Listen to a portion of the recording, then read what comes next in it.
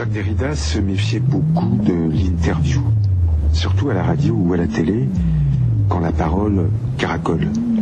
Les réponses, selon lui, devaient se préparer et s'organiser, certainement pas s'improviser dans le simplisme journalistique. L'enregistrement, en plus, leur donnerait un caractère définitif totalement injustifié, le philosophe s'aventurant du côté de la question plutôt que de celui de la réponse. Ce n'est pas à lui qu'il faut demander des certitudes catégoriques, c'est pourtant vers lui qu'on se tourne quand on veut à tout prix connaître la vérité sur quelque sujet que ce soit. Du coup, chaque interview, nous avons dû faire ensemble pas loin d'une douzaine d'entretiens, était une pensée en acte prise dans le mouvement de l'interrogation, quand bien même elle s'appuyait sur des livres jalonnant un parcours. Au début d'ailleurs, je me souviens que Jacques Derrida n'acceptait le jeu de l'interview qu'à la condition de pouvoir, euh, risquons le mot, le déconstruire. Il exigeait donc de l'auditeur la méfiance qu'il s'imposait à lui-même. Et cette méfiance devenait une manifestation de sa vigilance, la meilleure alliée de ses analyses critiques, la garantie de leur crédibilité. La seule capable, en tout cas, de rendre compte de l'hétérogénéité du temps, de l'accélération et des changements de vitesse. La meilleure alliée, au fond, d'une parole qu'on a voulu parfois juger hermétique ou cryptique quand ses traversées lentes et prudentes, familières des marges, ne visaient qu'à préserver un certain secret. Ce secret dont il disait qu'il y avait aujourd'hui peut-être un devoir éthique et politique à le respecter. La vocation totalitaire, avertissait-il, se manifeste dès que ce secret se perd. À bon entendeur de toute longueur d'onde, salut. L'entretien que nous allons rediffuser ce soir date de novembre 2001. À l'origine, une salve de livres publiés cette année-là, Papier Machine et L'Université sans condition chez Galilée, De quoi demain, un dialogue avec Elisabeth Rodinesco chez Payard, et Atlan grand format, de la couleur à la lettre, chez Gallimard. Cette émission sera suivie de la rediffusion à minuit d'un entretien de du jour au lendemain où vous pourrez réentendre la voix de Jacques Derrida chaque soir de cette semaine.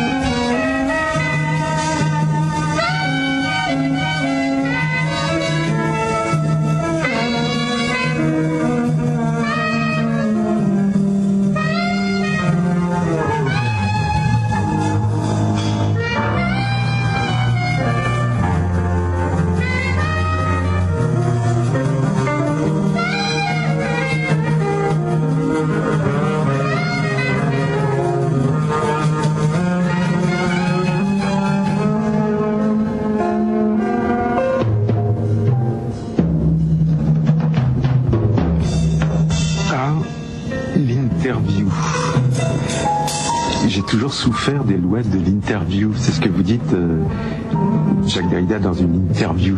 Et d'ailleurs, euh, maintenant, vous donnez l'hospitalité à des interviews dans vos livres, puisque on en retrouve un certain nombre dans Papier Machine, l'un des livres qui est publié euh, aux éditions Galilée. Alors moi j'ai envie de savoir ce qui vous trouble dans l'interview. Est-ce que c'est parce qu'il y a trop de silence Est-ce que c'est parce que les mots restent en travers de la gorge, faute de temps ou de réunir les conditions nécessaires à l'exercice de la parole? En tout cas, la question est bien, comme vous le dites, celle du silence. Euh, non pas qu'il y en ait trop, quelquefois il n'y en a pas assez, c'est-à-dire qu'il n'y a pas entre euh, la parole proférée et le temps de silence, il n'y a pas le rapport que j'essaie de cultiver, en tout cas que je m'approprie mieux quand j'écris, ou quand je parle à, un rythme que je peux déterminer moi-même, par exemple dans l'enseignement. Je, suis euh, quelqu'un qui pendant des décennies a beaucoup parlé et a essayé de distribuer le temps de parole, le temps de silence dans des séminaires, dans des situations où justement la parole était interrompue selon un rythme et des injonctions différentes, différentes de celles de, l'interview. Alors, en même temps, il y a dans l'interview quelque chose qui m'inquiète mais qui me séduit. Euh, c'est-à-dire qu'il y a une interruption, quelquefois un art de l'interruption, quelquefois une violence de l'interruption, qui, dans le, meilleur des cas, est euh, une chance donnée euh, à la parole, à l'improvisation. Quelquefois non, c'est chaque fois une expérience nouvelle. Et c'est cette surprise qu'à la fois, euh, je suppose que, comme tout le monde, qu'à la fois euh, j'aime et, je, crains. Hum. Mais avec le temps, euh, ça n'a pas changé, vous continuez Non, non. je n'ai pas appris l'art de l'interview. je n'ai pas fait l'apprentissage de la chose. J'ai dû faire l'apprentissage d'autres choses, par exemple de la parole enseignante jusqu'à un certain point. Mais l'interview est chaque fois quelque chose à quoi euh, je m'expose dans le dénuement et donc dans ne pas trop y mettre trop de pathos, mais dans l'inquiétude, sinon dans, dans, l'angoisse. Mm. Parce que les interviews auxquelles je, suis euh, exposé ou livré sont toujours des interviews au sujet de textes qui, eux, euh, obéissent à un tout autre régime. S'il s'agissait d'interviews sur des choses euh, qui ne sont pas encore écrites, ou des faits ou des expériences euh, qu'on raconte dans une conversation, ce serait sans doute différent. Mais je sais que les interviews qu'on me propose, euh, le prétexte en est toujours un livre écrit dans une langue et à un rythme et selon des normes totalement hétérogènes, celles de l'interview. Donc il y a une, une traduction et une pédagogie aussi, puisque dans l'interview, radiophonique en particulier, on parle euh, la nuit à un auditoire plus indéterminé que jamais, composé de gens dont on se dit qu'ils euh, vous entendent pour la première fois, ils ne savent rien de ce que vous écrivez, et donc il faut s'adresser à eux tout en s'adressant à d'autres euh, qui sont plus proches, plus prévenus. Alors, je sais bien que cette indétermination des destinataires et la loi partout, même dans un séminaire, même dans son propre séminaire, il y a des gens, on, ne sait pas ce qui se passe du côté des destinataires. Néanmoins, on a une, image, une, silhouette idéale du destinataire euh, assez précise finalement. Euh, ça n'est pas du tout le cas de, l'interview radio radiophonique. Hmm. Donc là, alors euh, on parle dans la nuit, évidemment. Je vous parle, je, je sais que je peux régler ma parole sur ce que j'imagine être votre attente. Et donc, vous, naturellement, euh, de ce point de vue-là, j'essaie d'oublier que nous parlons en ce moment pour euh, des gens qui, comme, je le fais moi-même souvent dans ma voiture, la nuit très tard, euh, et, tourne le bouton et écoute, voilà, Dieu sait qui. Est-ce que la nuit a son importance? Oui, alors je crois que justement, elle, elle offre l'hospitalité d'un certain silence, justement. le, travail est arrêté, il y a un autre temps, le temps de la nuit, qu'on soit en voiture, comme c'est souvent mon cas quand j'écoute votre émission, en rentrant très tard le soir chez moi, ou chez soi.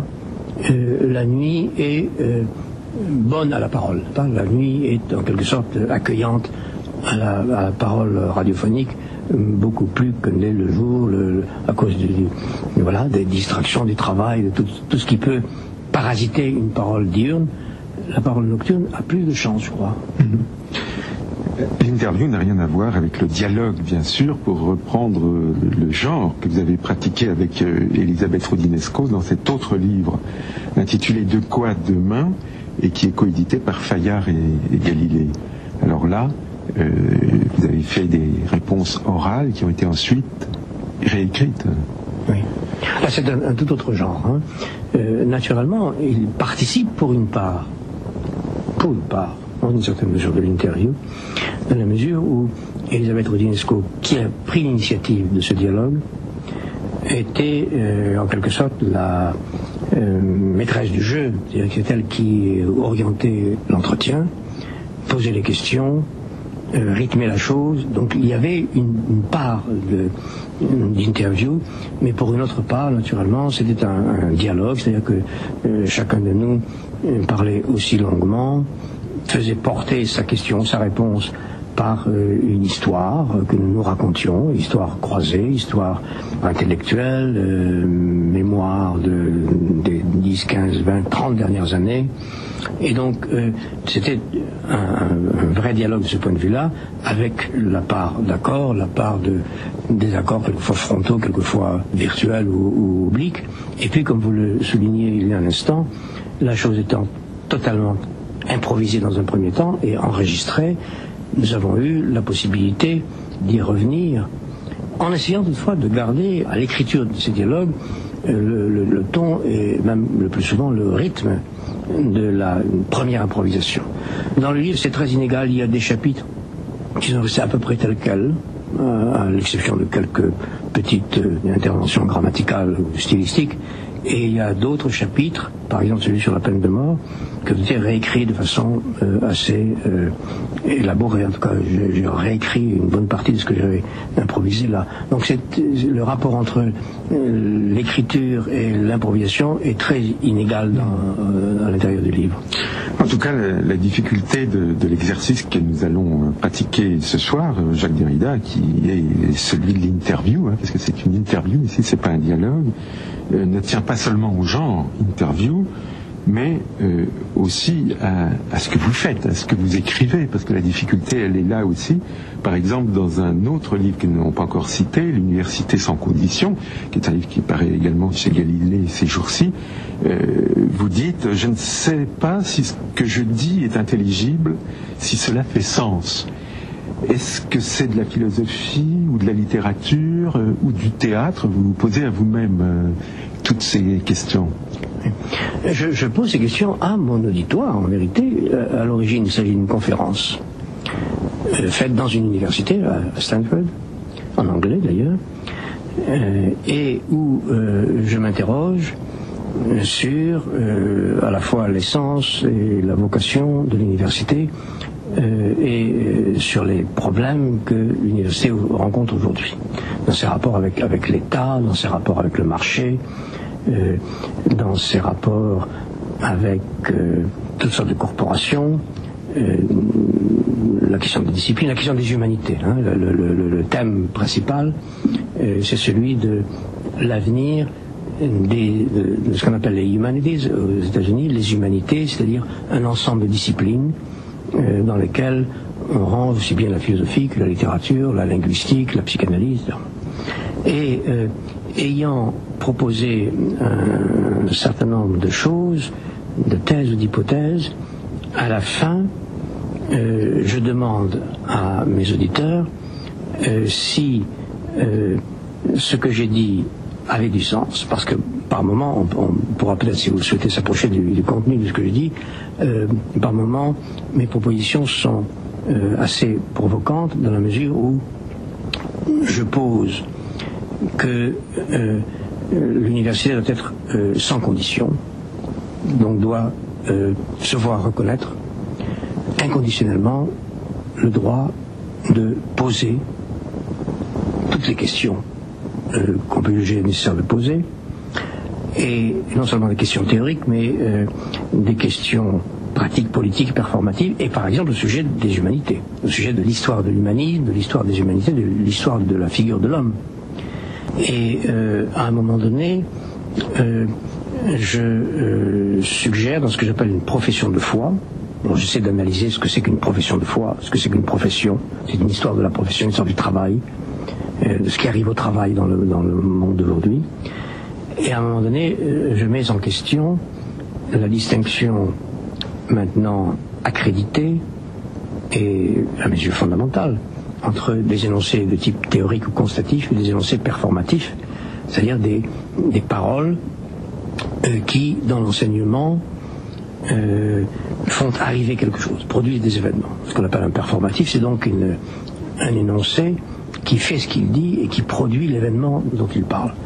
Alors après avoir euh, soutenu pendant assez longtemps, presque tout le temps de cette conférence, cette distinction entre constatif et performatif, l'avoir fait travailler, à la fin du trajet, j'explique pourquoi euh, cette distinction me paraît limitée dans sa pertinence et pourquoi les événements, s'il y en a, et, je pense qu'il doit y en avoir dans l'université, dans l'université à venir, euh, mettent en déroute le performatif lui-même.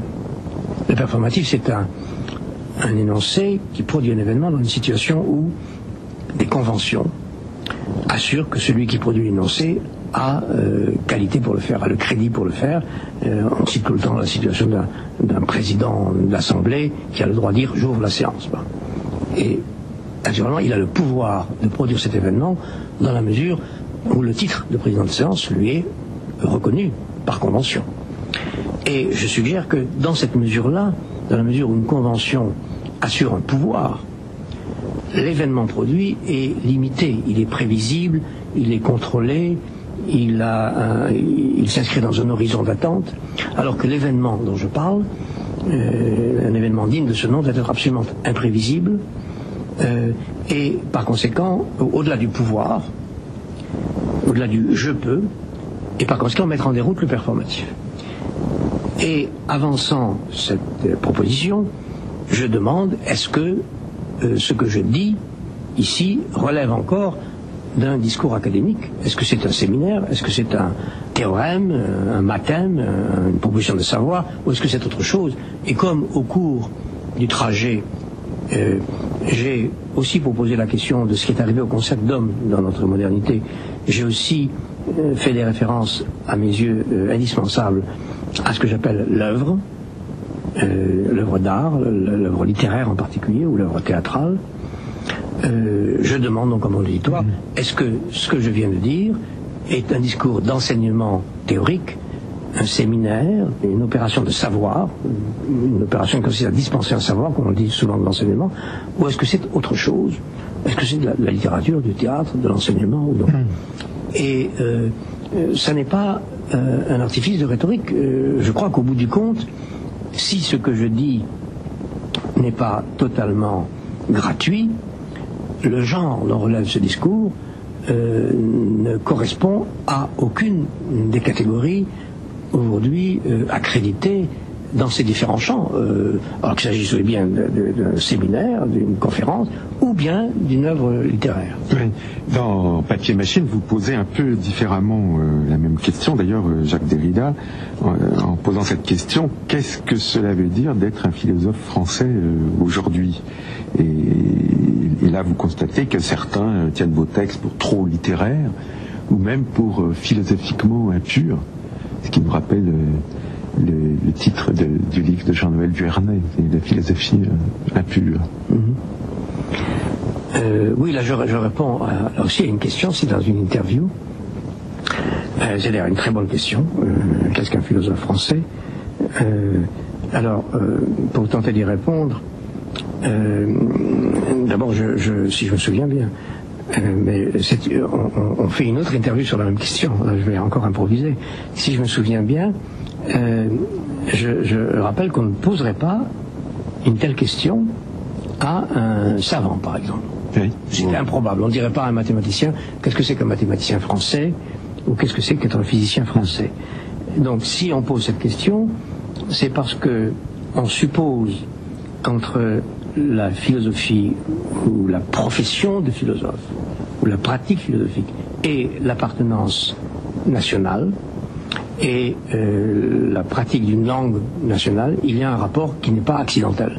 Et que donc le fait qu'on est français, euh, et qu'on parle français, qu'on écrit en français, euh, doit affecter à la fois la figure du philosophe, ce que je crois, et son discours, et non seulement la forme, mais le contenu de son discours. Et je crois que c'est vrai dans une certaine mesure. Mmh. Alors c'est cette mesure que j'essaie d'analyser en rappelant qu'en principe, dans la grande tradition philosophique, la philosophie n'a pas de nationalité, qu'elle elle est définie par sa prétention à l'universalité, c'est-à-dire à, excéder immédiatement les frontières du pays, de la langue, de la citoyenneté, et même des, institutions nationales auxquelles le philosophe euh, euh, de la modernité appartient, parce que la plupart des philosophes, depuis le XIXe siècle en tout cas, sont des professeurs. Ce sont des gens qui appartiennent à des institutions toujours nationales, marquées dans une certaine mesure, par leur nationalité. Donc, ayant rappelé que la philosophie, en principe, euh, prétend excéder les frontières nationales, néanmoins, euh, il n'y a pas de philosophie sans langue naturelle, il n'y a pas de philosophie qui se produise dans une langue euh, formelle, totalement formalisée, c'est-à-dire universelle ou mathématisée, et que donc il y a eu dès le début, entre un concept philosophique et un mot de la langue, une affinité, une, un, lien euh, qui est irréductible. Et donc j'essaie de marquer en quoi euh, un philosophe français aujourd'hui est marqué non seulement par sa langue, mais par l'histoire des institutions auxquelles il appartient, par l'histoire d'une tradition. Et j'essaie de marquer en quoi, dans mon cas, c'est vrai aussi, bien que mon explication avec euh, ces choses-là, avec l'institution, euh, la citoyenneté et la langue, euh, soit un peu, disons, turbulente, en tout cas questionnante. Hmm. Vous ne savez pas si une langue originaire peut influencer une pensée? Euh, influencé, je, crois qu'inévitablement. Je, je, crois que les, premiers concepts philosophiques se sont produits dans une langue, indissociablement, hein, euh, la langue grecque, par exemple. Euh, mais ce n'est pas seulement la langue, ce n'est pas seulement le lexique ou la syntaxe, c'est l'appartenance à une, culture, à, un champ politique, à un champ institutionnel. Mais évidemment, ces choses sont, très compliquées parce que euh, euh, à l'intérieur de cette euh, de ces racines nationales, la, la vocation universalisante est au travail. Et donc, sans cesse, sans cesse le, travail du déracinement accompagne en quelque sorte l'héritage, l'héritage de la langue et de l'appartenance. Donc être philosophe, c'est de toute façon se mesurer à l'urgence de questions euh, universelles. Et, parmi euh, ces questions, il y en a une qui revient dans, les deux livres, d'ailleurs dans Papier Machine comme dans l'Université euh, sans condition. Je laisse un peu de côté pour l'instant le dialogue avec Elisabeth Rudinesco de Quoi demain? c'est la question de, la mondialisation, ce qu'on appelle aujourd'hui la mondialisation. Oui. Je crois que cette question euh, traverse les trois livres de manière euh, différente chaque fois, mais euh, elle traverse tous ses écrits, en, vérité tout, ce qui, avec d'autres, m'inquiète en permanence. ce mot recouvrant, souvent sans concept rigoureux, beaucoup de choses très différentes. et donc mon premier geste, c'est d'appeler à la vigilance ou à la méfiance à l'égard des abus rhétoriques Certains parlent de globalisation, par exemple. Voilà, alors c'est ça. Alors, une des premières choses que je rappelle, c'est que globalisation et mondialisation, ce n'est pas exactement la même chose. Globalisation est un mot qui a été accrédité euh, aux États-Unis d'abord. Euh, en Allemagne, c'est aussi, on dit aussi Globalisierung, qui fait référence donc, comme son nom l'indique, au, globe euh, terrestre, sans marquer en tout cas dans le mot ce que le mot, ce que monde doit à une histoire très très chargée, une histoire sémantique extrêmement lourde, extrêmement chargée, extrêmement grave. Euh, le monde, ça n'est ni le globe, ni le cosmos, ni l'univers. Et donc, j'essaie de euh, rappeler euh, que le monde, la notion de monde, ou mundus ou de, Welt en allemand, fait référence à un devenir chrétien, c'est-à-dire paulinien en fait, du cosmos grec, euh, au moment où euh, le, cosmos, dans la langue chrétienne paulinienne, euh, désigne une certaine humanité, l'ensemble des hommes comme prochains, fils de Dieu ou frères, frères et fils de Dieu. C'est-à-dire que le, mot de monde a une charge sémantique beaucoup plus déterminée, déterminante que celle de, de globe. Et je crois que partout où on parle aujourd'hui de mondialisation, qu'il s'agisse du droit international et des tensions entre euh, le marché et le droit international, partout on parle de, justement de l'humanité, de, crimes contre l'humanité, notion dont je rappelle qu'elle a été euh, une chose bien connue, mais qu'il faut toujours rappeler que c'est un, concept euh, moderne, un performatif juridique justement, qui date de 1945 et qui a déterminé très largement une grande part de l'espace géopolitique d'aujourd'hui, l'espace juridique et géopolitique d'aujourd'hui. Et évidemment, on ne peut pas penser le crime contre l'humanité euh, sans se référer à une notion de monde qui est marquée par euh, une tradition européenne, c'est-à-dire à la fois grecque et chrétienne, surtout, surtout chrétienne. Et donc, euh, naturellement,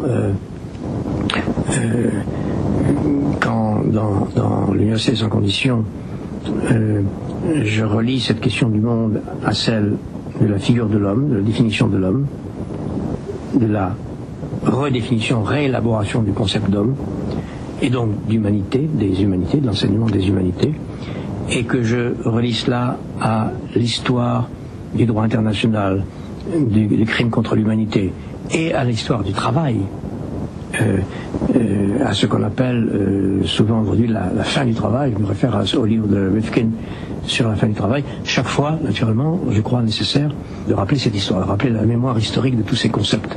Hmm. Est-ce que l'université sans condition peut tenir tête à la mondialisation? Faire de la résistance? Alors, je ne sais pas si elle peut le faire de façon effective, c'est un des moyens. Là, mon souci dans l'université sans condition, c'est de rappeler ce qu'est en principe l'idée de l'université. Celle justement d'une liberté sans condition, du, droit à dire tout ce qu'on a à dire, à poser toutes les questions qu'on veut poser, sans aucune espèce de limitation. C'est-à-dire la liberté de l'université à l'égard de tous les pouvoirs, le pouvoir de l'État, aussi bien des pouvoirs économiques, le pouvoir du marché, et, cette question n'est pas une question abstraite. Vous savez que les universités aujourd'hui, notamment dans le monde occidental, sont de plus en plus dépendantes du marché, des corporations, des, des, grandes concentrations de capitaux. Donc, indépendance inconditionnelle de l'université à l'égard du pouvoir d'État, du pouvoir économique, du pouvoir religieux, de tous les pouvoirs idéologiques. Mais naturellement, cette euh, liberté, euh, cette inconditionnalité est une inconditionnalité de principe. Mais en fait, nous savons bien que euh, euh, cette inconditionnalité n'est pas donnée, que l'université n'a pas de moyens propres et qu'elle euh, dépend en fait, qu'elle est conditionnée en fait par, par l'État, par le marché, par des idéologies, des institutions de toutes sortes.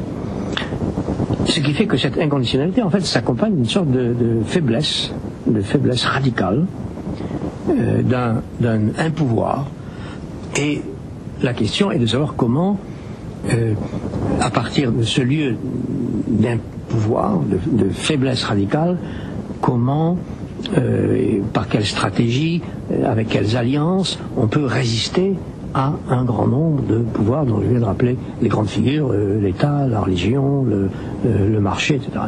Les médias. Les médias, j'oubliais les médias, mais il faut les rappeler parce qu'elles sont là, naturellement, des partenaires essentiels de toutes les instances que je viens de nommer. Alors, euh, la difficulté, je dis bien la difficulté, euh, une difficulté redoutable, c'est de penser ensemble cette inconditionnalité et euh, cette faiblesse. En général, on associe le droit inconditionnel à faire quelque chose un principe de souveraineté. Et on est tenté de dire, alors l'université doit être souveraine. Mais justement, euh, la, souveraineté est quelque chose que j'essaie d'analyser, de, déconstruire, et comme, comme histoire justement théologico-politique. Et donc j'essaie de penser, et ça n'est pas facile, de penser une inconditionnalité sans souveraineté, sans, sans pouvoir. Donc une situation où euh, la pensée, ce que j'appelle la pensée, ou l'œuvre universitaire, peut euh, s'opposer sans force à euh, tous les pouvoirs. C'est à la condition que euh, cette pensée soit possible et puisse se dire et frayer son chemin que l'université serait fidèle à ce que j'appelle sa profession de foi initiale, son, engagement initial, à l'idée de l'université, euh, mais évidemment, il ne suffit pas de le, dire. Ce, livre est à la fois très abstrait, en même temps, fait partie d'un combat dans lequel, avec d'autres, je, suis engagé depuis, depuis longtemps. Et, ça passe par ce que, ce que j'appelle, en un sens non religieux du terme, la profession de foi d'un professeur. Et le refus de céder à quelque hégémonie que ce soit. Voilà. Et évidemment, pour revenir à, votre question sur la mondialisation, ce qu'on appelle mondialisation aujourd'hui, euh, c'est souvent un champ de conflit pour l'hégémonie, euh, souvent, on abuse de ce mot en laissant croire que c'est fait, que la mondialisation existe, c'est-à-dire que euh, le marché est ouvert à tout le monde, que les frontières tombent, la communication est assurée de transparence et de, partage universel, alors nous savons bien, et je le rappelle très vite dans l'université sans condition, nous savons bien que ce n'est pas le cas, que la mondialisation n'existe pas, que l'espace public dit mondial est très hétérogène, plus inégalitaire que jamais, que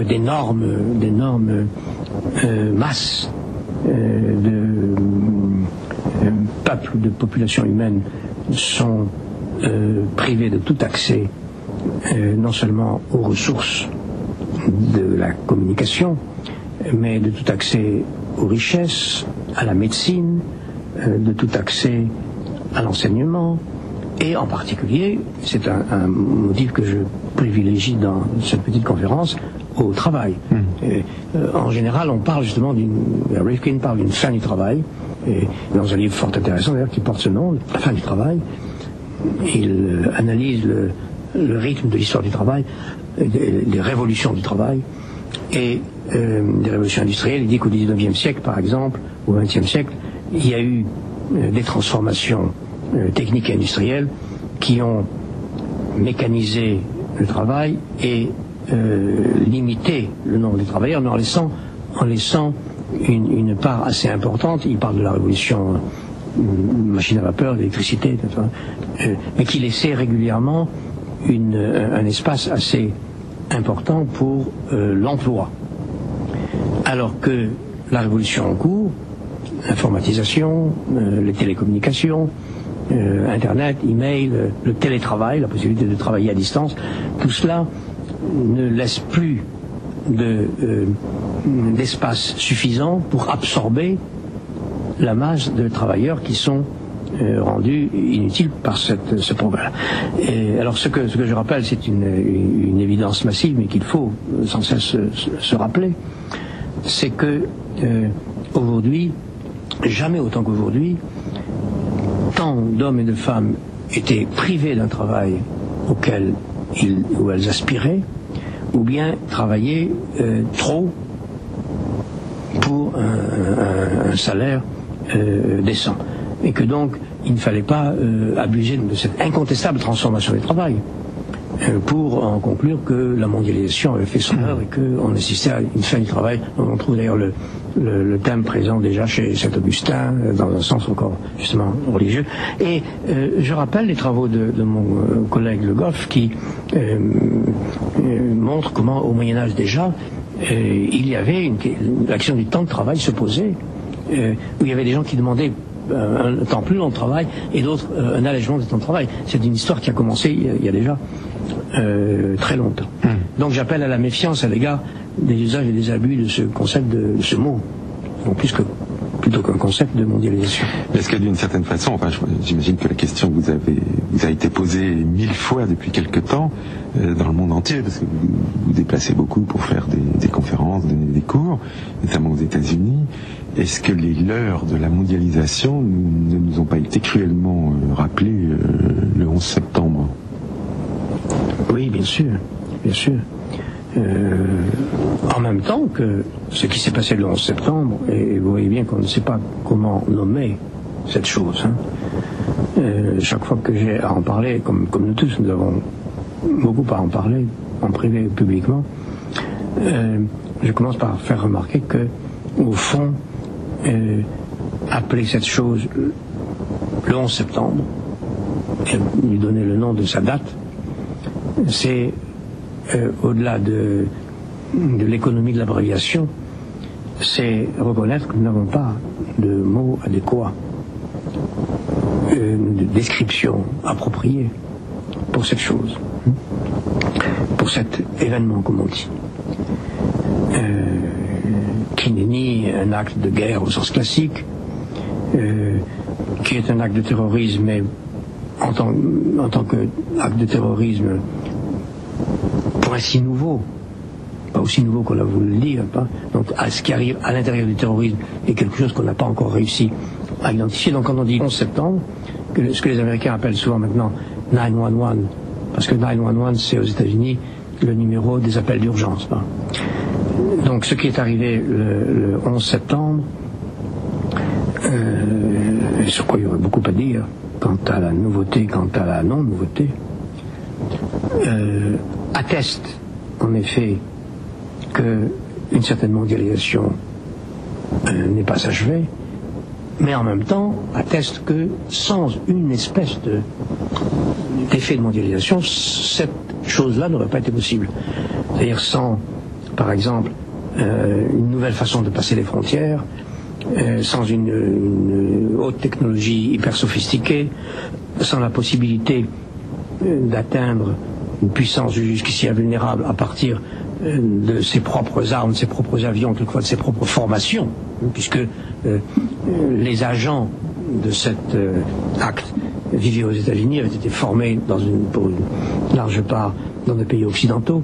Donc tout cela, en même temps, euh, cette forme de terrorisme, hein, si le terrorisme n'est pas nouveau, cette forme de terrorisme est nouvelle, entre autres traits, parce que une certaine mondialisation l'a rendu possible qu'il s'agisse de la langue, de la technique, euh, d'un terroriste qui n'a pas eu besoin d'utiliser autre chose que les, armes, les avions et la formation du pays euh, visé.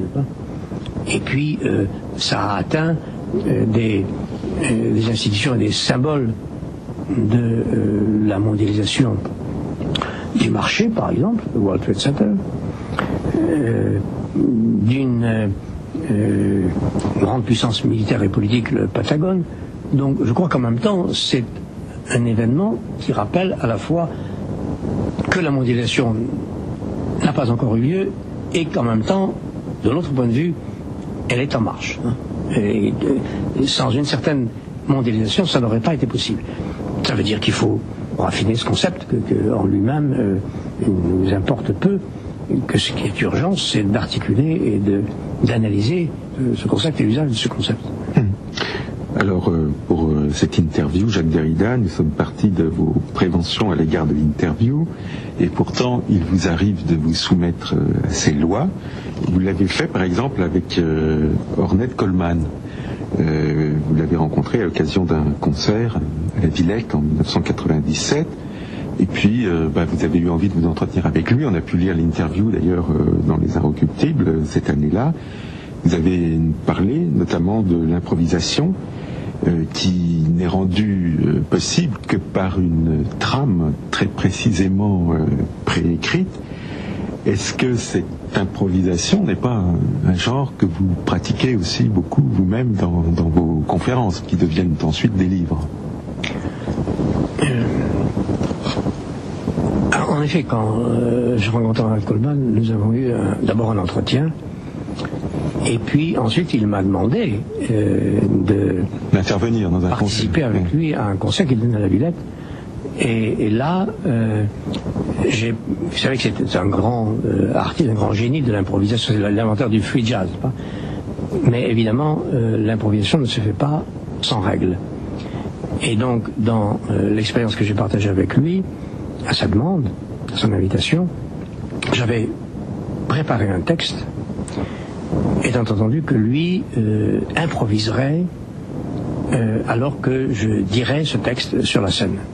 Ce qui s'est passé, mais euh, nous avons d'abord répété. Répété sans répéter. nous avons fait quelques essais où il y avait à la fois de l'improvisation et en même temps de la répétition.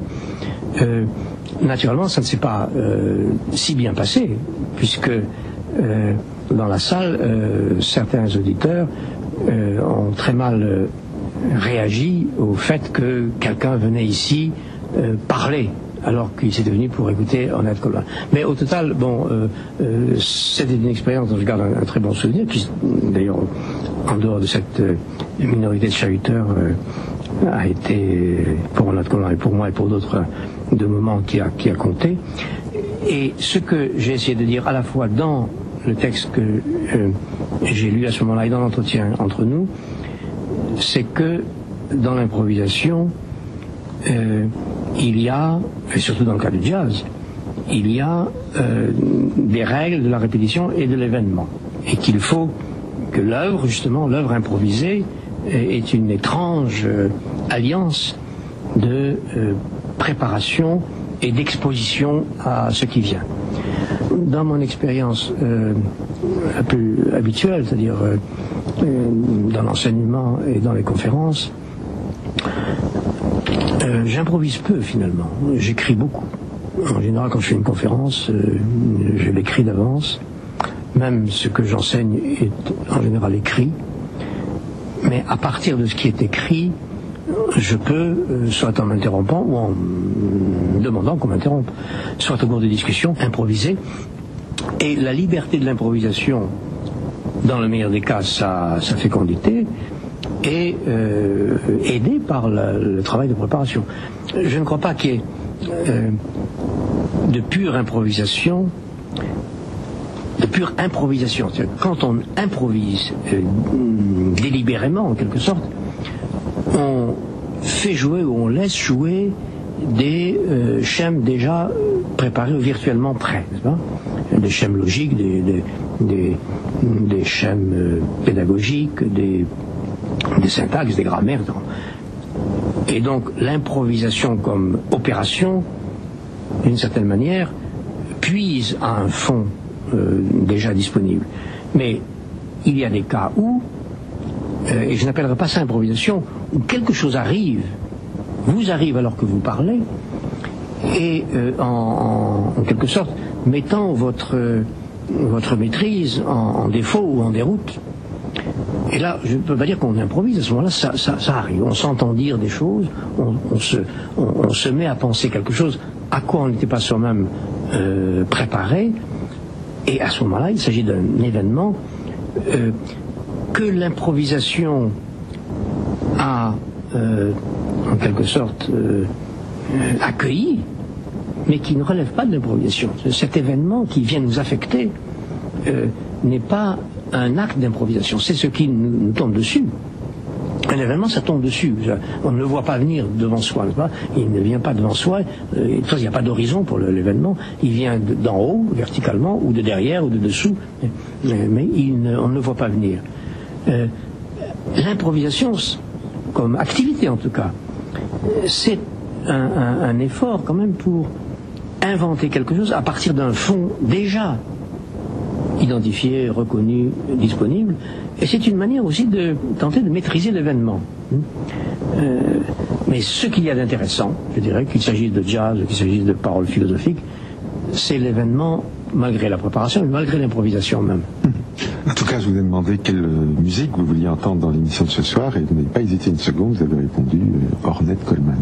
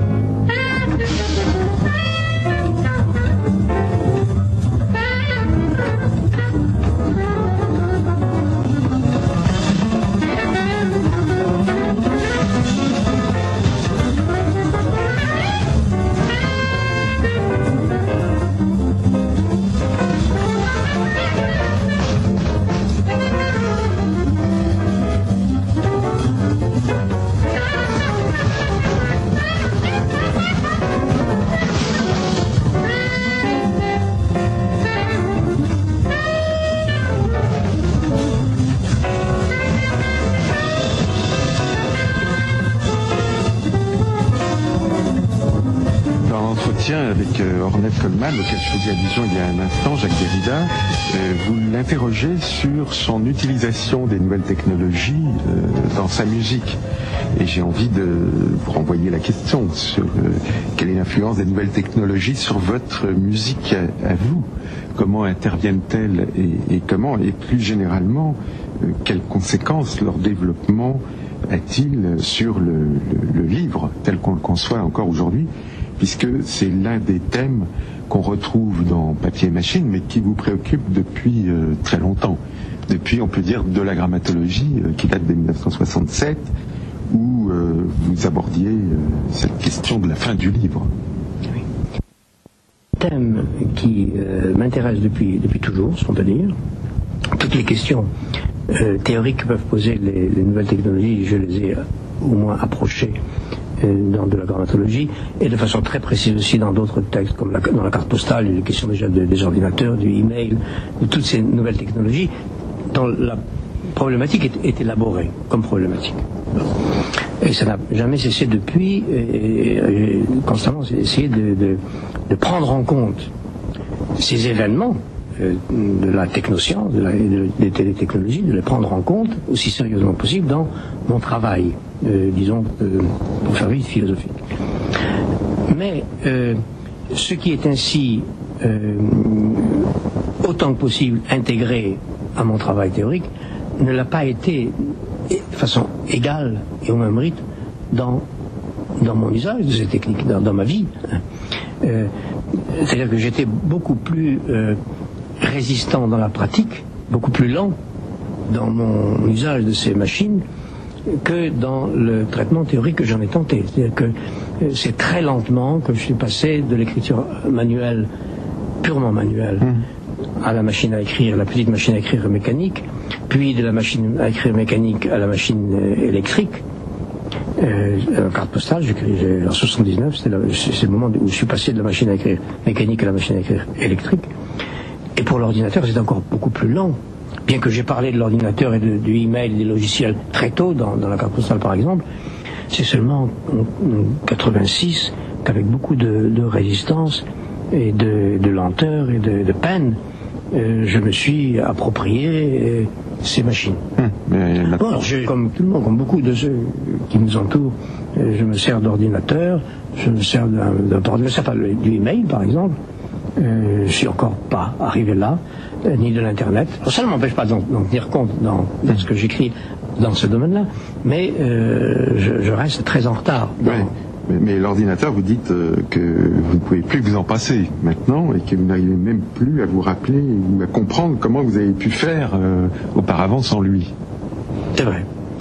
Je suis très dépendant de ces machines-là, même si je m'en sers de façon primitive et maladroite, euh, je suis très dépendant et en effet, euh, il m'arrive, je suppose que ce n'est pas très original, il m'arrive de me demander comment, euh, comme j'ai quand même beaucoup, beaucoup écrit avant d'avoir un ordinateur, comment je, faisais auparavant pour effacer, recomposer, coller, couper, etc.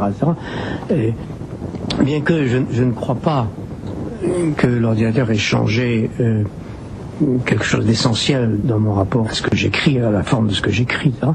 Il a facilité, en les accélérant, les interventions techniques dans le texte, hein, les recompositions, euh, leur, comme ça, couper-coller, l'opération de couper-coller est bien, comme vous savez, beaucoup plus, beaucoup rapide et, facile. Euh, je prépare mes cours sur un ordinateur et il, il peut m'arriver, par exemple, plus facilement qu'auparavant, naturellement, de, euh, une fois que j'ai écrit euh, l'équivalent de ce dont j'ai besoin pour une séance, de, placer au début ce qui était à la fin, de recomposer en quelques secondes euh, la mise en scène en quelque sorte d'un texte avec beaucoup plus de facilité et beaucoup moins de temps qu'auparavant. Hmm. Donc ça m'est très très utile bien sûr. Alors le livre à venir, le livre à venir c'est un titre de Maurice Blanchot. Oui le, texte qui est euh, recueilli au début du papier machine sous ce titre, c'est une conférence que j'avais faite à la Bibliothèque nationale, justement sur la fin du livre. c'était en fait l'introduction à une discussion que j'avais eue avec Bernard Stiegler et Roger Chartier sur ce qui arrive, ce qui arrivera au livre dans, dans une bibliothèque. Alors, je me suis en effet référé à ce que dit Blanchot dans le, texte qui porte ce titre, euh, avec naturellement un salut euh, au coup de dé, c'est-à-dire à ce qui, dans la forme livre, déjà euh, lui faisait arriver des dislocations, des mouvements contrôlés d'aléas, des délinéarisations, etc., Donc je me suis référé donc à Blanchot et à Mallarmé dans, cette euh, conférence à la Bibliothèque nationale, en prenant en compte que ça se passait dans une bibliothèque, parce que chacun des textes qui sont dans papier machine se marque, et de façon délibérée, explicite, par référence à la situation, au contexte, au lieu pour lequel il a été produit. Soit des, des bibliothèques, ce sont toujours des, institutions qui ont affaire au papier, puisqu'il s'agit de papier, euh, soit des bibliothèques, soit des journaux, soit des revues. Et évidemment, euh, au cours de cette discussion, nous avions à euh, à la fois rappeler et évaluer notre rapport à la culture livresque, la culture du livre. Et de façon apparemment contradictoire, mais c'est une contradiction à laquelle je tiens, j'ai dit que à la fois je, tenais au livre, et la culture du livre, c'est-à-dire au, temps du livre, à la forme de lecture et d'écriture requise par cette chose finie qu'est le livre, mais que tenir au livre ne signifiait pas, naturellement, se fermer à ou s'interdire l'accès aux formes d'impression et au support non livresque de, la parole et de l'écriture. Hmm. Alors le, livre euh, Papier Machine a un sous-titre qui est le ruban de machine à écrire et autres textes. Et le ruban de machine à écrire, c'est le deuxième texte du volume où il est euh, notamment question de Rousseau, qui est encore un, revenant, parce que Rousseau, on le trouve également dans ce livre que nous avons cité tout à l'heure, de la grammatologie, où là, vous vous intéressiez euh, longuement à l'essai sur l'origine des langues. Mais dans Papier Machine, c'est un extrait des Confessions qui vous requiert, où Rousseau raconte comment, chez Madame de Verselin, euh, il a volé un petit ruban couleur de rose et argent et comment il a fait accuser de ce vol une pauvre cuisinière. Marion. Marion. Le titre, ruban de machine à écrire, se justifie dans une certaine mesure par euh, le fait que ce ruban de soie volé vol qui fut euh, une sorte de traumatisme générateur et fondateur et paradigmatique pour Rousseau, en tout cas ce qu'il dit.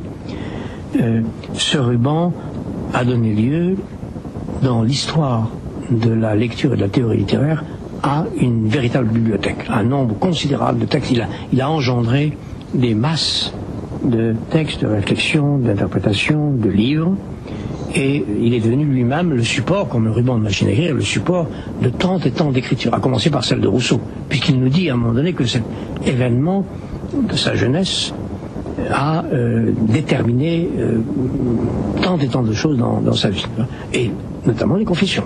C'est comme si euh, les confessions elles-mêmes n'avaient été écrites que parce qu'il y avait eu ce vol. Alors je me suis plus qu'amusé, parce que j'ai pris ça très au sérieux, euh, euh, je me suis en tout cas aussi amusé à repérer euh, des analogies entre les, confessions d'Augustin et les confessions de Rousseau, qui toutes les deux archivent en quelque sorte, et la question de l'archive est au centre de, ce livre, hein, archive un vol à l'âge de 16 ans. Hein. et l'attention que j'ai prêtée à ces analogies m'a donné à penser ou à rêver que peut-être Rousseau avait totalement inventé cela pour s'inscrire dans la tradition d'un nouveau genre littéraire qui était celui des confessions, inauguré par Saint Augustin, la confession d'un vol étant en quelque sorte le coup d'envoi de l'écriture. Alors, euh, dans ce, volume, il est évidemment, puisque vous avez repris un certain nombre d'entretiens, euh, souvent question de la déconstruction Vous en parlez aussi, bien sûr, avec Elisabeth Rodinesco dans, dans De quoi demain. J'imagine que vous en avez un peu assez de parler de la déconstruction, donc je ne vais pas vous interroger euh, longuement là-dessus. Merci. Mais peut-être que nos auditeurs seraient déçus si nous n'en parlions pas. Euh, en tout cas, euh, là, vous vous rappelez que ce n'est ni une philosophie, ni une science, ni une méthode, ni une doctrine. D'ailleurs, dans, un autre livre, Résistance de la psychanalyse, vous dites que c'est une hyper-analyse, qu'il s'agit de, défaire, de désédimenter, de décomposer, de déconstituer des sédiments, euh, des artefactats, des présuppositions, des institutions, etc. Euh, bref, c'est l'impossible. Et euh, l'impossible est ce qui arrive en même temps. Ça, c'est la définition que vous donnez dans le dialogue avec euh, Elisabeth Roudinesco. Si, si pour, faire, pour faire vite et, et pour jouer un peu, j'essaie de me rappeler euh, les définitions que, euh, sous la pression d'une question, en général d'interview, je me suis laissé aller à donner de la déconstruction brièvement. Euh, il y en a, si je compte bien, au moins quatre. Ouais. Si vous me permettez, je les rappelle, c'est un sens très bref. Euh, J'ai dit une fois, la déconstruction, c'est l'Amérique, dans le texte sur Paul de. Et une autre fois, dans le même livre, euh, ayant abandonné cette première hypothèse, j'ai dit la déconstruction, c'est plus d'une langue. Parler plus d'une langue. Et puis une autre fois, la déconstruction, c'est l'impossible. Et enfin, une quatrième fois, c'est ce qui arrive. Vous le rappelez. Et je crois que ces quatre euh, définitions, qui sont à la fois algébriques, brèves, ironiques, mais sérieuses aussi, ne sont pas, ne sont pas, comment dire, disparates ou incompatibles. Elles, sont, elles forment une sorte de, je l'espère, de, cohérence. Euh, D'abord, ce qui arrive comme l'impossible. Il est évident que si ce qui arrive, si un événement, ou bien qui arrive, parce que euh, qui arrive, c'est-à-dire l'arrivant, la, la, le qui arrive, hein, ce qui arrive ou bien l'arrivant.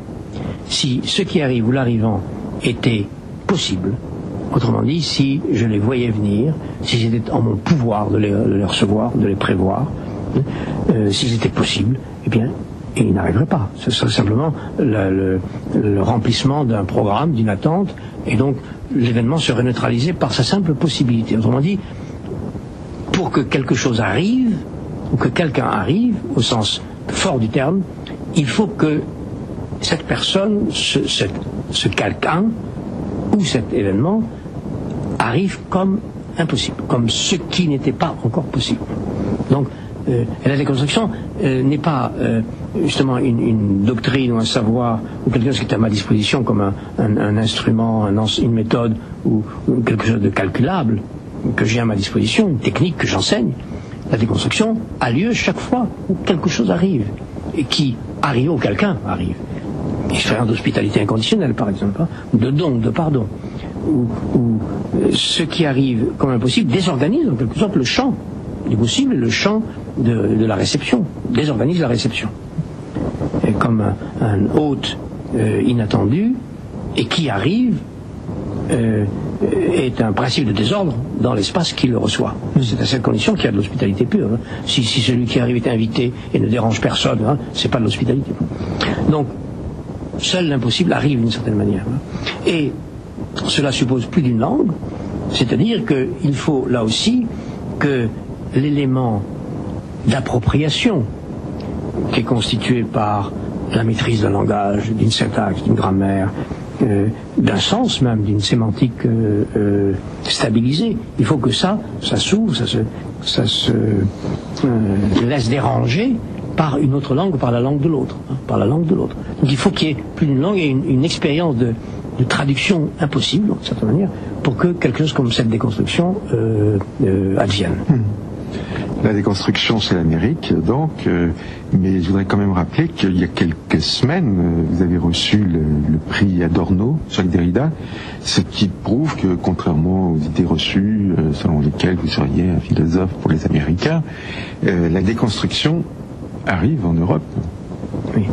Je, je voudrais dire un mot au moins de cette boutade, la déconstruction, c'est l'Amérique, que j'avais risqué en 1984, je crois c'était, euh, à titre de boutade sérieuse, un effort pour marquer que il n'était pas fortuit que la déconstruction, non pas soit si bien accueillie en Amérique, parce qu'elle n'a pas été aussi bien accueillie qu'on le dit souvent en Amérique. Il y a ce préjugé qui m'indigne un petit peu, je dois dire, contre lequel je voudrais euh, protester publiquement, puisque vous m'en donnez l'occasion, selon lequel euh, la déconstruction et, du coup, moi, par la même occasion, si je puis dire, sont bien reçus aux États-Unis.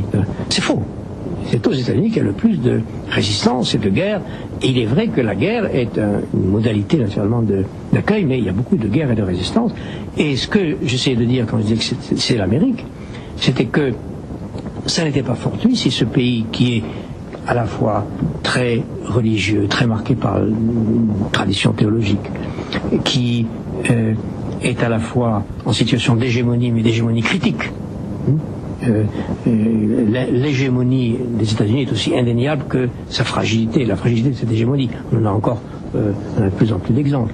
Donc il n'était pas fortuit que les États-Unis, et notamment certaines universités la culture américaine, offrent à la déconstruction un terrain de bataille, pas un terrain d'hospitalité ou d'accueil, mais un terrain de bataille privilégié.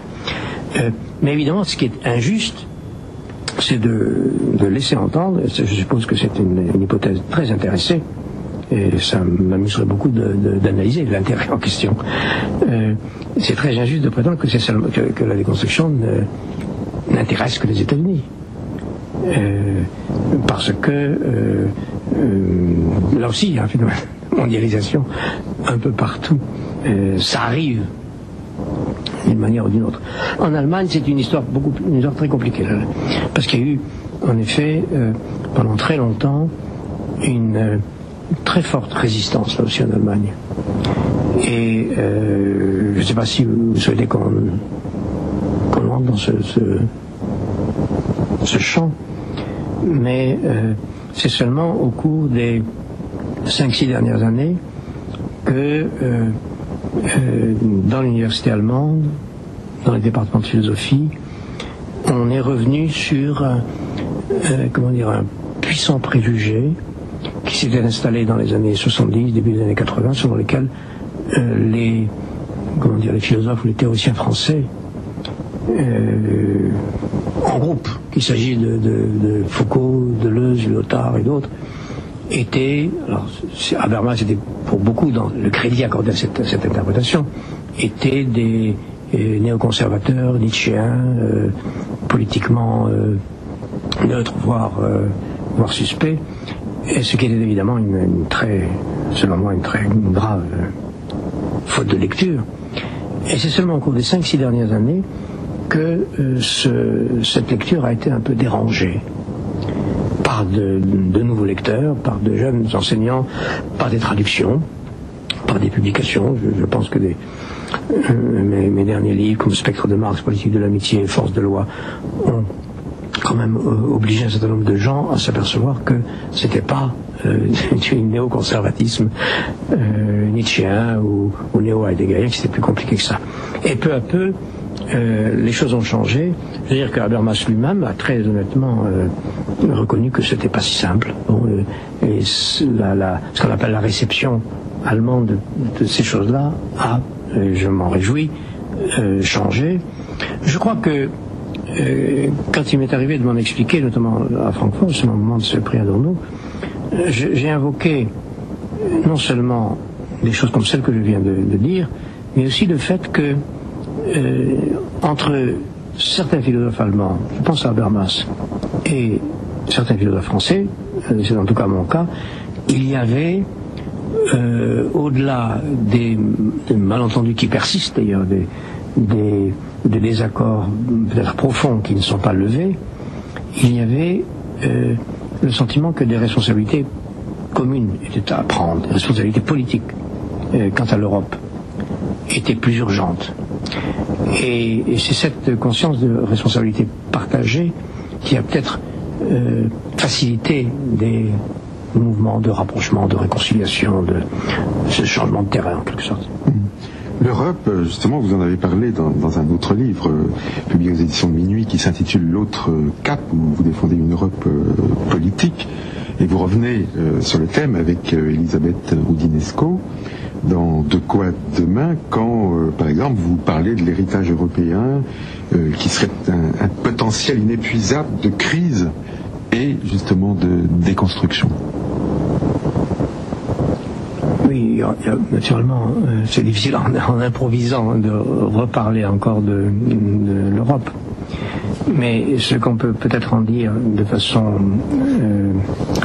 économique ou algébrique, c'est que euh, ce qu'on nomme l'Europe, ou la philosophie européenne, c'est non seulement un corps de culture, de langue, de, tradition, euh, qui se rassemblent, mais c'est aussi un tourment et un travail euh, porté à justement excéder le lieu européen, à excéder ses propres frontières. Euh, euh, on parlait tout à l'heure de vocation universelle, de mouvement pour euh, justement se porter au-delà de son lieu de naissance. Je crois que c'est ça ce qui caractérise justement le, meilleur de, la philosophie européenne, de, ce qu'on appelait autant de, Husserl ou de Valéry ou même de Heidegger, l'esprit l'esprit européen. Et donc, la, difficulté, c'est, euh, pour les responsabilités que nous avons à prendre aujourd'hui, c'est à la fois euh, d'être fidèle à cette, inspiration, à ce mouvement d'universalisation, sans, euh, sans eurocentrisme, c'est-à-dire sans reconstituer une Europe qui, identique à elle-même, reprendrait une sorte de, figure stable et de force, de force politique, économique, militaire, euh, en concurrence avec, avec d'autres, d'autres forces analogues. Donc, comment faire pour être un héritier de, l'Europe de ce point de vue-là sans, sans eurocentrisme? C'est ça la, difficulté de, cette euh, réponse, de cette hmm. responsabilité.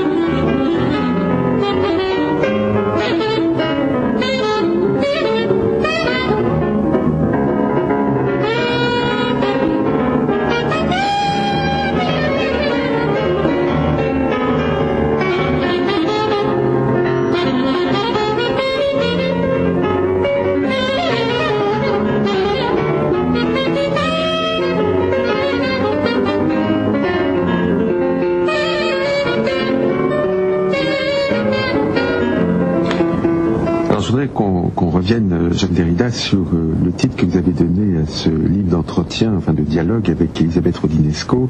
De quoi demain C'est une abréviation d'une phrase de, Victor Hugo. Il est vrai qu'il s'agit des chants du crépuscule. De quoi demain sera-t-il fait? Et vous, il y, a, une expression que vous employez souvent, c'est ce qui vient ce qui vient, une, expression qui revient souvent euh, ces dernières années. Euh, parlez-vous quand vous parlez de ce qui vient, de, ce qui euh, va surgir de manière totalement imprévisible, de ce qui à la fois appelle et déborde votre responsabilité en tant que philosophe? Je crois que si j'ai privilégié ces, petits mots, ce syntagme, ce morceau de phrase, ce qui vient, c'est euh, pour euh, faire droit, d'une part, à euh, ce qu'on appelle l'événement.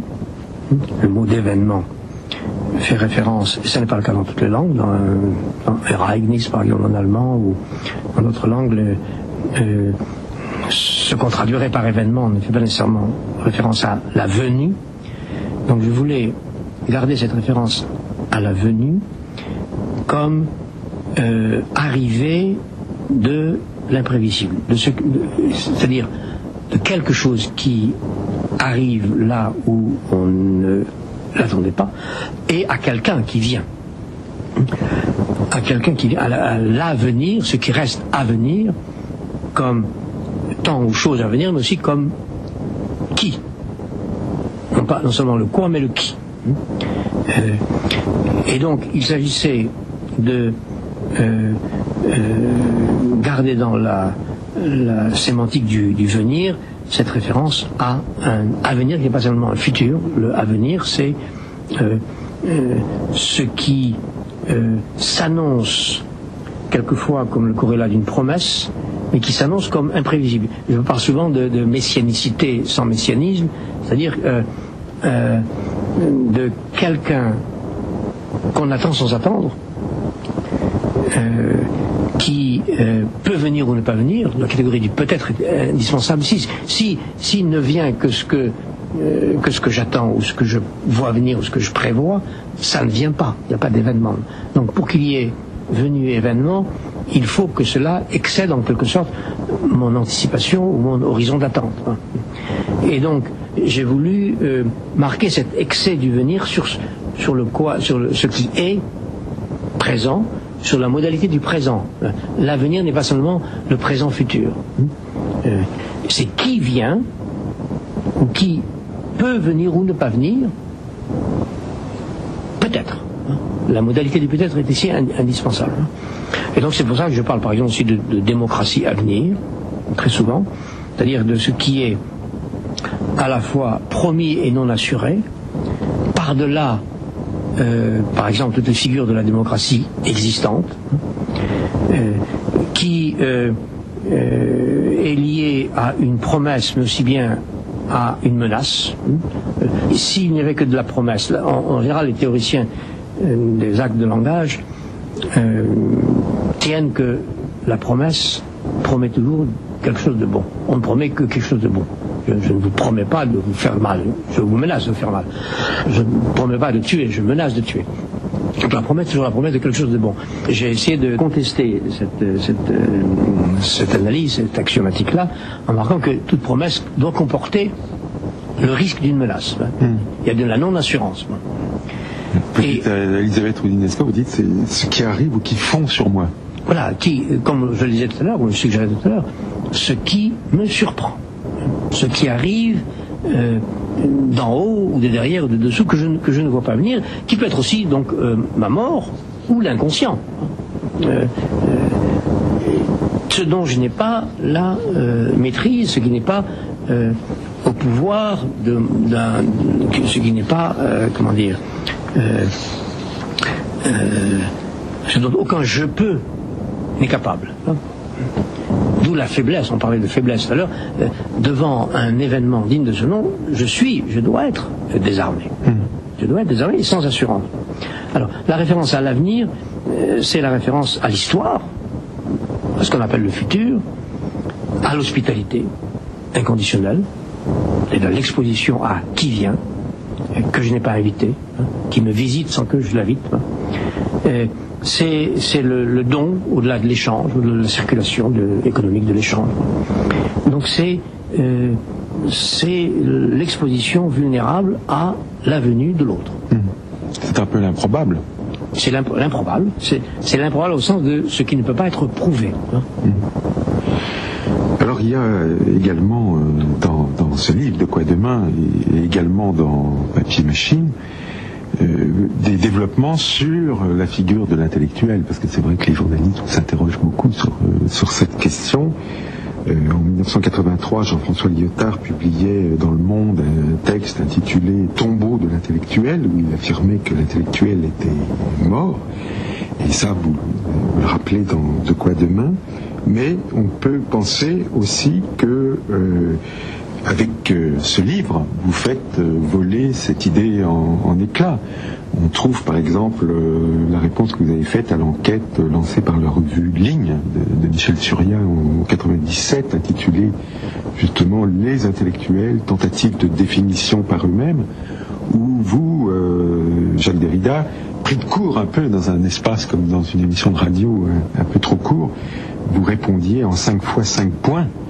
Euh, on ne va pas tous les citer, mais on peut citer le, troisième, où vous disiez jamais la tâche une définition rigoureuse de l'intellectuel ne m'a en fait paru aussi impossible qu'aujourd'hui.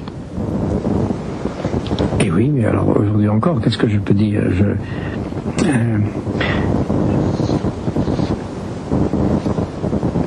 Tout ce qui avait euh, dessiné la figure de l'intellectuel dans l'histoire, et notamment dans l'histoire de France, à savoir euh, l'écrivain au service d'une cause juste, hein, de Voltaire à Zola à Sartre, Victor Hugo. littérature euh, au service d'une cause juste dans l'espace euh, public. tout cela, évidemment, n'est pas simplement périmé, mais euh, doit se soumettre à une transformation profonde du dit euh, euh, espace public. Entre autres choses parce que ce qui définissait le travail intellectuel, évidemment, l'intellectuel n'est pas seulement défini par le travail intellectuel, néanmoins, il est en partie défini par le travail intellectuel que Marx encore opposé au travail manuel. Aujourd'hui, cette distinction entre l'intellectuel et le non-intellectuel n'a plus du tout la même chance, et l'usage de n'importe quelle euh, technique euh, dans une usine, dans l'armée ou dans le commerce implique le maniement intellectuel d'instruments assez, compliqués. Donc la, distinction entre travail manuel et travail intellectuel est déjà euh, à remettre en, en, en question. Et puis, justement, les, les nouvelles formes de, médias, les nouvelles, euh, euh, la nouvelle répartition des figures qui enracinent le politique dans le territoire, les nouvelles formes d'internationalité, les nouvelles formes de, prise de parole et de transmission de la parole dans les médias. Tout cela a fait que euh, la, figure classique du grand intellectuel sans être périmé, n'a plus, euh, plus du tout la même, la même place. Et euh, je crois que euh, si on ne veut pas abdiquer les responsabilités dont nous sommes chargés en tant qu'intellectuels, en tant que personnes qui prenons la parole publiquement, qui publions, qui sortons de l'espace privé qui témoignant dans l'espace public, il faut reprendre en considération toutes ces nouvelles données. J'essaie de le faire, je suis incapable de, reconstituer ce que je disais dans cette, euh, ce, long entretien, cette, longue réponse, mais la tension qui se trouvait euh, au centre de cette réponse, c'est que à la fois on ne peut plus mimer la rhétorique ou les gestes ou la pratique de ce qu'on appelait les intellectuels au 19e, au, début du 20e siècle, on ne peut pas mimer cela ça devient ridicule. Et on pourra en donner beaucoup d'exemples. Mais on ne peut pas non plus abdiquer ses responsabilités. Donc il faut inventer de nouvelles pratiques. il n'y a pas de. je serai le dernier à proposer des normes, ou encore moins des leçons. Pour cette nouvelle pratique, je crois que chacun a à inventer ses propres façons de faire, travailler avec ses propres limites et euh, signer euh, là où il peut signer. Et, je ne crois pas qu'il y ait simplement qu'il n'y a, pas de modèle. Voilà, il n'y a pas de modèle. En tout cas, moi, je ne, je ne, je ne crois à aucun modèle euh, pour un intellectuel d'aujourd'hui. Tout au long de cet entretien, Jacques Derrida, nous avons tiré quelques fils dans le désordre, extraits de trois livres que vous venez de, de publier, L'université sans condition, Papier machine, De quoi demain. Il se trouve qu'il y en a un quatrième que nous avons passé euh, sous silence, euh, qui est un livre sur un peintre euh, ou avec un peintre atlant. Ça vous arrive souvent d'ailleurs d'écrire sur l'art et sur, la peinture. je vais rappeler la vérité en peinture, par exemple, c'est un, livre déjà ancien qui date de 78, publié chez Flammarion. Vous avez préfacé souvent des expositions d'artistes. Là, vous avez donné un texte, un très beau livre, de très grand format. Le livre s'intitule Atlan grand format de la couleur à la lettre, et votre texte est précisément celui qui s'intitule De la couleur à la lettre, mais dans le livre on peut trouver aussi des, textes d'Atlan, les dits du peintre, de Jean-Michel Atlan euh, lui-même. Et à propos de, cette peinture, qui je le remarque intéresse les philosophes, parce que je me souviens qu'il y a eu un texte d'Emmanuel Lévinas aussi sur, euh, sur Atlan. Atlan était philosophe aussi de profession, hein. il est professeur de philosophie mhm. au moment où il a commencé à peindre. Donc euh, vous dites que cette peinture est aussi une peinture de la voix. Oui, j'ai cru, euh, ça ne serait pas le seul exemple de, peinture sonore ou musicale, mais j'ai cru en effet euh, y entendre quelque chose retentir à partir d'autres langues. C'est une peinture qui travaille au corps ou se laisse travailler au corps de, mythologie à la fois grecque, océanique, par la Bible aussi. Hein. Et il y a beaucoup de, textes, de textes prophétiques euh, qui euh, euh, résonne dans une peinture qui reste une, peinture, qui n'est pas du tout discursive. Hein. Je, crois que quand je parle ici de, voix ou de, de musique ou de sonorité et de rythme, surtout c'est une peinture qui, où la place de la, du, mouvement dansant est, très évidente. Donc quand je parle de, voix, il ne s'agit pas de, discours, c'est une, peinture muette de ce point de vue-là. En quoi c'est une vraie peinture. Et qui laisse muet aussi, parce que, comme vous le dites, euh, vous êtes incapable de nommer une couleur d'Atlan. Oui. Là, il y a des... Euh, nommer, les couleurs, je ne sais pas si c'est seulement dans le cas d'Atlan, mais en effet, la question de la, du, nom donné à une couleur est une, grande question dans, laquelle je n'arrive pas à, voir, à voir clair. Et euh, évidemment,